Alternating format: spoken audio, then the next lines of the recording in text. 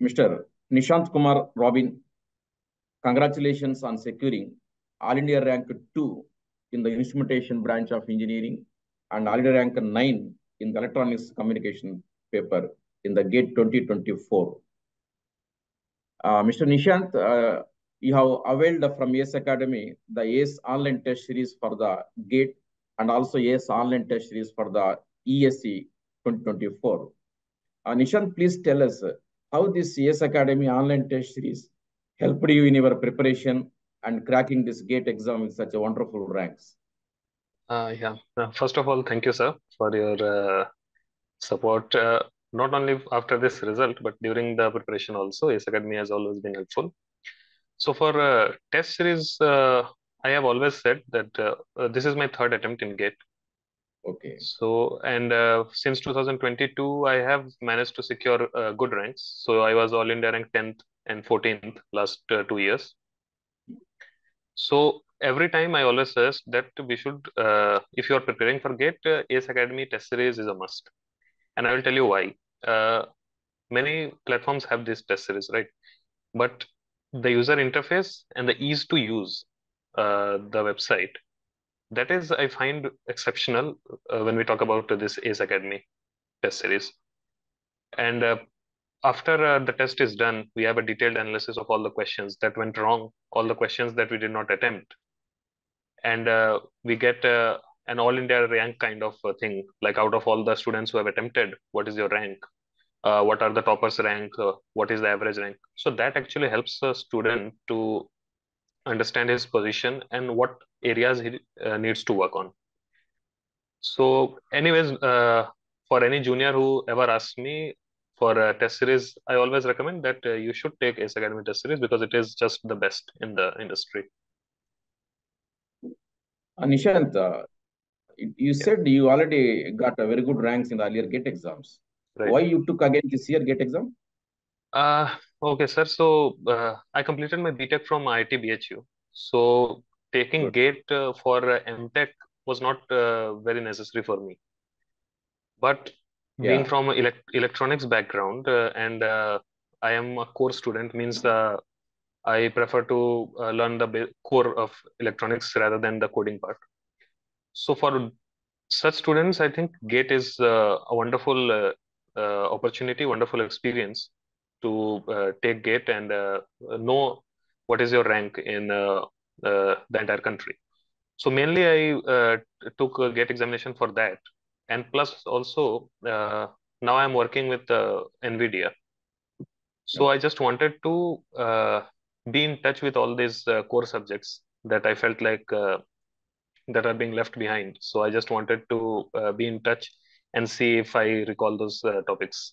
So that's it. Okay. So very good, Nishant.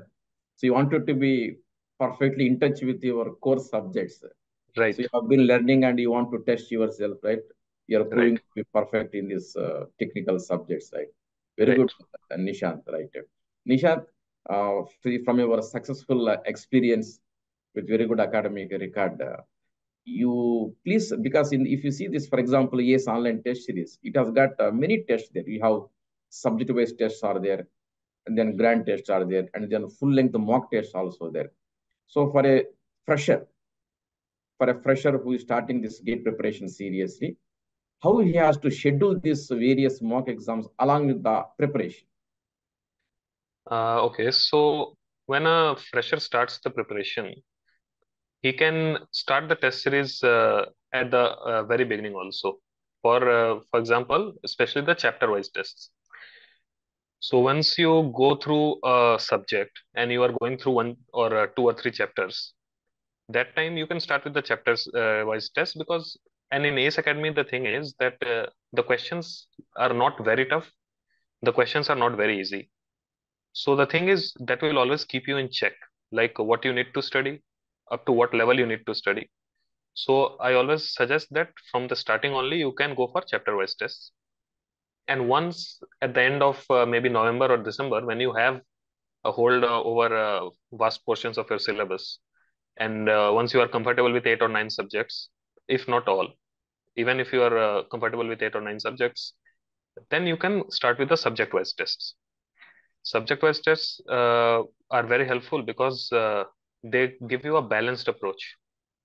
Certain chapters might be weak in certain subjects, that is uh, perfectly normal. But when you give a subject-wise test, that balances out. So you are not demotivated. And uh, after subject-wise test, in January mostly, you can go for uh, mock tests because uh, I think 10 to 12 mock tests are more than enough to uh, get uh, the feel of your preparation and the rank. This this time also, I think it was a new initiative, or I don't know if it uh, existed previous year also, but there was a pre-gate that was organized by ACE. Yes, yes yeah so i took part in that and that was a wonderful experience actually because that was i think a couple of weeks uh, before the actual examination. Yeah. And it was uh, perfectly timed proper uh, all india kind of uh, uh, test. Basically we rep replicated uh, the gate before the gate actually occurred. And that was a wonderful experience learning experience. And we got an all india rank we got all the analysis and all that. So that should be the order. So you start with chapter wise tests, then go to subject wise tests, and in the January month of January, maybe you can go with mock tests. Okay, right. So so this so full length mock test should be scheduled just before one month of the actual exam. Right. right? By that time, student right. will be ready with the subject. Okay. So right. Uh, Nishant, uh, for this instrumentation All India second rank, how many marks you got? Uh, I got uh, 79.33 as far as I remember. Okay, what is the score? Gate score? Gate score is uh, 941, most probably. Okay. What about this EC ninth rank you got? Uh, huh, that is, marks? I got, uh, uh, that marks is 67.66.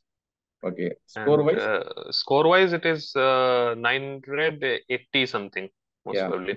80, right. So uh, right. Even the rank is inferior compared to the instrumentation second rank, but the score is uh, very good. Score is better. That uh, that is expected. More there. Ah, right, right, right. Okay, right. Uh, very good, uh, Nishant. Nishant, you have seen both the papers uh, this year.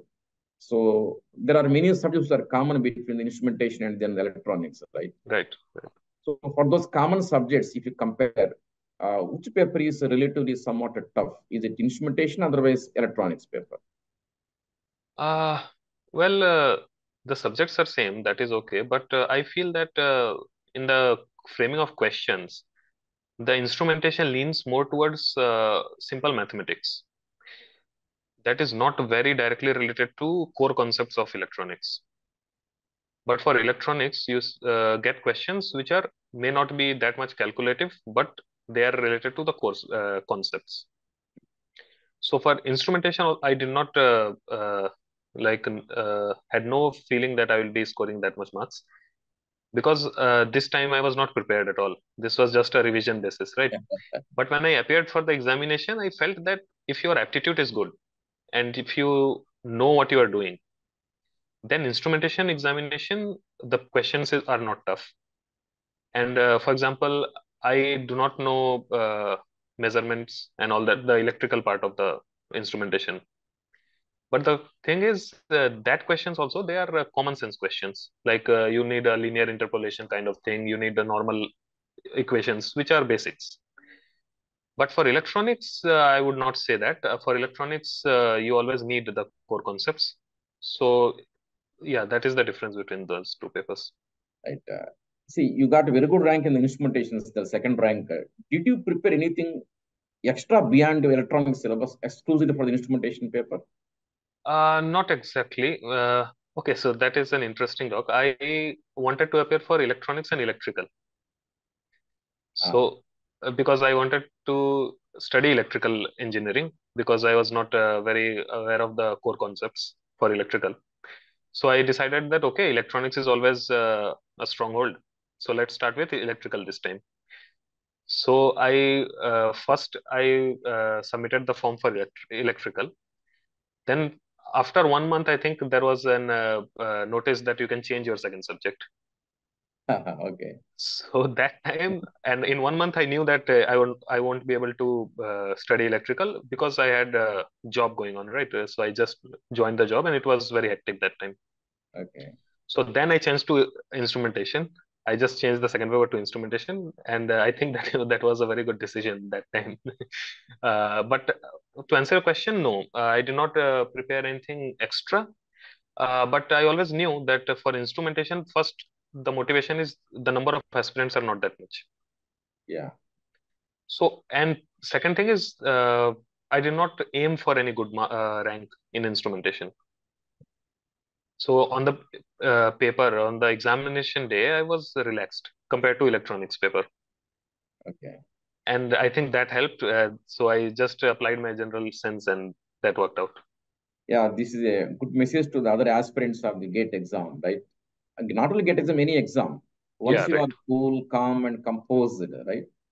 Your mind starts working like a supercomputer. You may perform beyond your expectations also, right? Yeah, yeah, This is one of the example in such a case, right? Okay. right. Uh, good, uh, Nishant.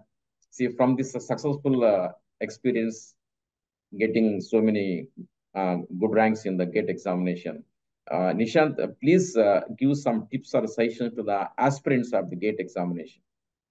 Uh, okay. Uh, so the first step would be to start early because that is a mistake I have seen many students commit. Like they are not very serious uh, till the start of July, August, or anything, and after that they pick up the pace. But then uh, the burden of the left syllabus overpowers the completed syllabus. So first tip is always that start as early as possible. Even if you're not starting with full force, you give time per week. You allocate some time per week, like this many hours I will be dedicating to GATE. Second thing is uh, you should always stick to one source because in today's time I am seeing like in 2022 it was not that much, but uh, this year is I am seeing that YouTube also an n number of platforms are there, and you have plenty and plenty of uh, free uh, these courses. Right, right, right. And okay, they are good. I agree that uh, YouTube lectures are also very good, but that uh, confuses the students which uh, teacher to follow, which platform to follow. So I always suggest that don't go for free initiatives at first. If you can afford, you pick a platform, pay the price, because once you pay the price, now you're uh, you are anyway uh, more conscious towards your preparation. So choose a platform. Second, uh, third thing is uh, the test series. As I said, you can you can start the test series very early, the chapter wise test, because the chapter wise tests do not uh, are not a testament to your preparation in any way, but they will boost your morale to appear for examinations. So once you are taking the test for uh, say two to three months, after the three months, you will be more comfortable in appearing for subject wise or mock tests. So these are the few things that you always need to keep in mind. Other thing is whenever you have doubt, always reach to the faculty. Because if you are uh, stuck in some doubt, you are uh, uh, not uh, doing a thesis here before GATE examination. So you do not need to solve all the questions on your own. That is a, a big misconception that uh, students have. So just simply ask the faculty, get it clarified, and move ahead. So these are all the tips that I would want to share. Very good, Nishant Kumar, right? I think these tips what you gave, very, very useful to the aspirants of the GATE exam, right? Thank you so much, Nishant, for sparing your time and sharing with us uh, so many valuable points. I think uh, will be very useful to the students, right? I once again congratulate you and wish you all good luck in all your future endeavors. Thank you. Thank you so much, sir. Thank you, Nishan. Thank you. God bless you. Thank you.